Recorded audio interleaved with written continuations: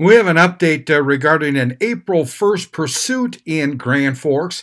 On this Tuesday, an arrest warrant has been issued for Bradley Hell, shown here in an earlier booking photo.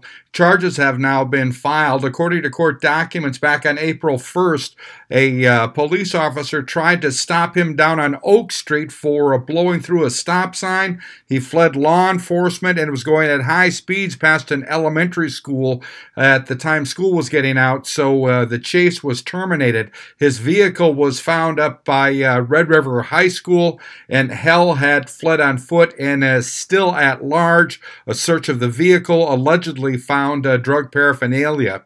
Uh, when captured, he's facing charges of felony, reckless endangerment, misdemeanor fleeing a peace officer, and misdemeanor possession of drug paraphernalia.